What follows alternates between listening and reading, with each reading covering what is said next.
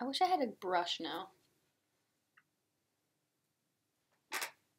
Oh, okay, Jay.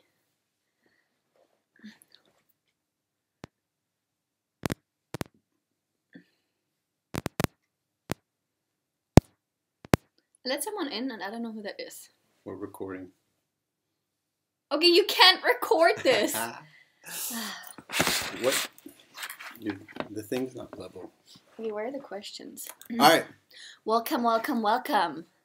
Number one, for the people who think we're funny, that's awesome. I don't think we're funny.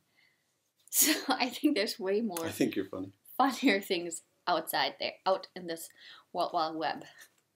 So if you think we're funny, She's saying go expand your horizons. no, no, no, That's no. what she's trying I'm to saying say. no. I'm trying to. Don't put words in my mouth. I'm just saying I'm very touched. That was the word I'm looking for. I'm very touched.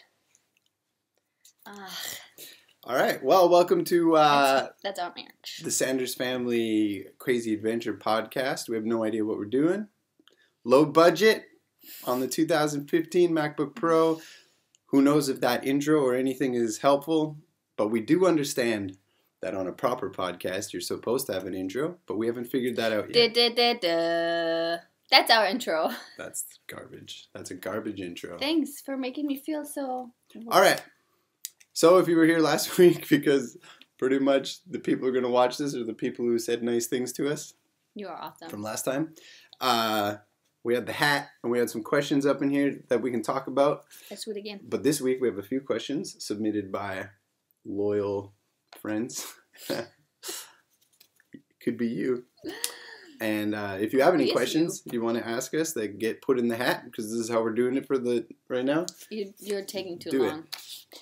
What does JP say is the source of his Oh. creativity?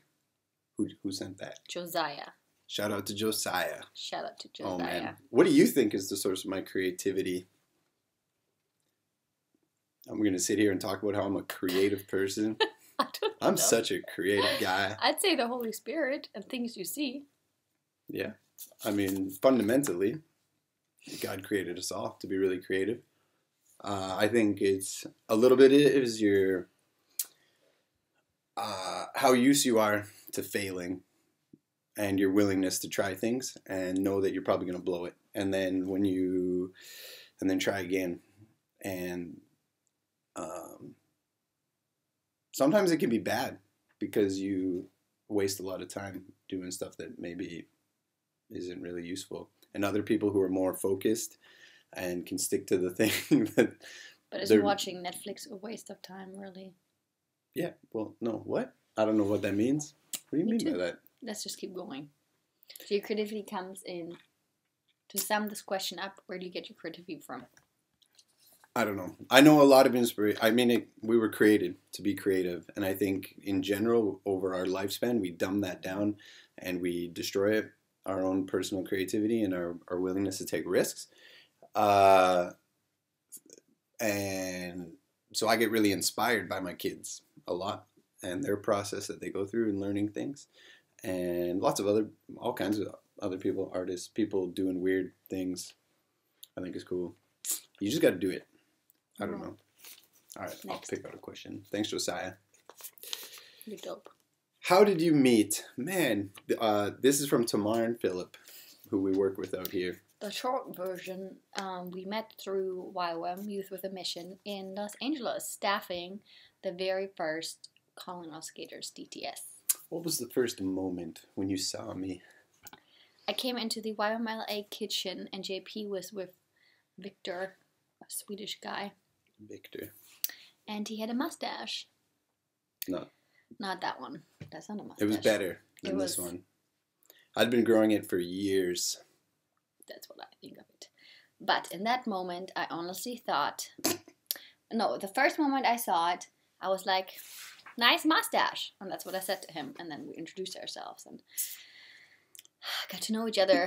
Um, So I looked over at Victor, and we were like, "She's the one." And um, that's how we met. that's where we met in the kitchen YMLA. by her complimenting my mustache. Shout out to YMLA. Shout out one. to my mustache. Got me married. What kind of music do you like? Again, Philip, thanks for submitting that question. Okay, you want to hear something funny? Until my DTS in 2011, I didn't even know the that country music existed because I'm from Germany and we don't have country there. Uh, but one of my best friends at DTS, Sydney, she loved country music, and I really got into it. I love country music, like love it. That's what he thinks of it. I'm a country girl. I don't like living in the country. I just like country music. Talking about tractors, horses, and love, of course. Love. Country music's not about love. Ah, Okay, what do you like? Um, everything that's not country music. No, JP likes this really annoying, obnoxious, you just want to throw up duh, duh, duh, duh, duh, duh, duh, duh, music. Techno. Who likes techno? I don't even know if I listen to techno. You listen always to it when you need to study and focus. And I'm like, it makes me so nervous that I have to ask him to either put in his headphones or shut it off because I cannot stand it. If you like techno, that's great. It's not Go for it.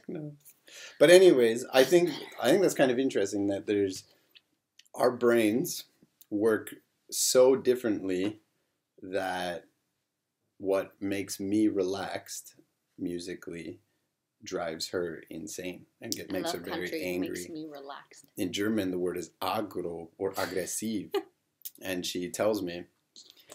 And so I pretty much stopped listening to music out loud since we got married.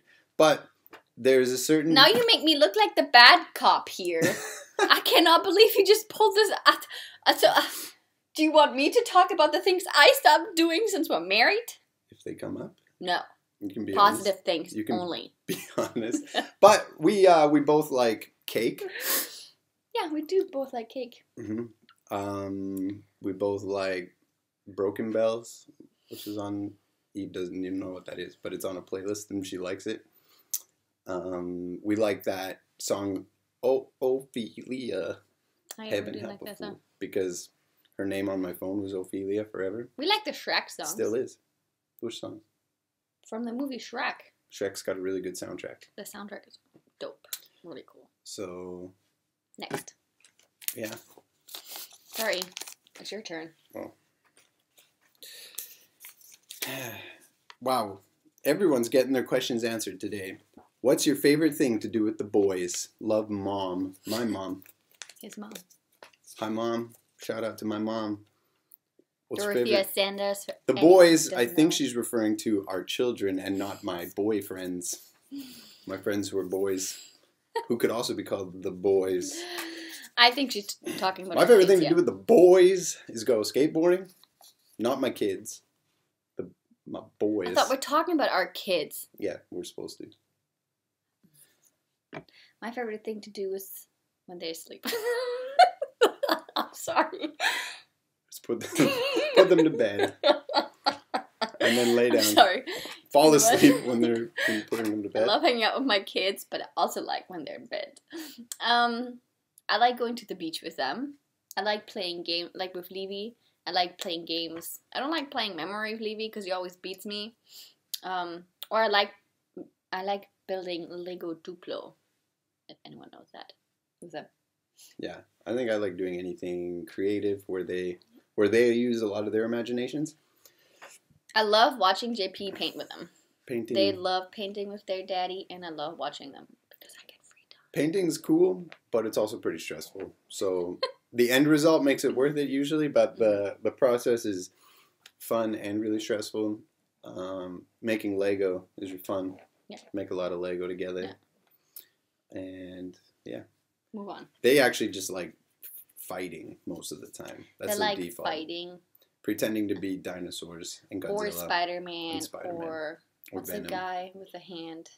Iron Man. Keely Iron likes Iron Man. Man. Iron Man. Yeah. Next question. Rolf, Rolf and Ila Vilema. Rolf, culture shock in Spain. I don't know. So we noticed because we've done this now. This is our third time moving into from continent to continent into a new country, culture, whatever. That about six months in, right? About three or six months, I can't remember. About six months in, when you live somewhere, culture shock hits you hard. Like, I'm talking about crying, breaking down hard. that was for me last year in July. Wasn't a big thing. Like, we were supposed, Livy was in summer camp to learn Catalan. We were supposed to pick him up as usual at 1. JP gets there, calls me, and says, There's no one here. I'm freaking out at home. Uh, where's my child? I call my friend who speaks Catalan, Esther, and um, she's and I'm like sending her the papers I get from the school. I'm like, I don't know where I'm supposed to be. Am I supposed to be somewhere else? Levy's waiting there. What am I supposed to do? And then she just goes, No, no, no, you're good. They're on an all day outing, and you're supposed to pick them up at five. I just didn't understand that part because it's in Catalan. So where we live, it's Catalonian, Catalonia from Spain. So they don't only speak Spanish; they speak Catalan, and it's a different language. And so, yeah, that was one of those moments where it's just like, but usually culture shock is a ton of little things building up to one little thing just tipping it off, and then you just lose it. And then you just surrender to God because we're Christians. And then you're good. and then you just keep going. I don't know. You did a lot of crying or something. I don't remember. Thanks for showing my weakness in front of y'all. For me, uh, sometimes the service here can be pretty bad. Oh yeah, customer service sucks. Not all the time. There's lot, there's lots of companies that are really good, but it's funny coming from like eh, America where North America, North. America, Because Canada's North America. where the customer is always right, and uh, and personal service is uh, our guarantee. Compared to here, where it's like, like get out of my store. It's it's break time. Like Yeah. I I'm selling something to you is not my priority.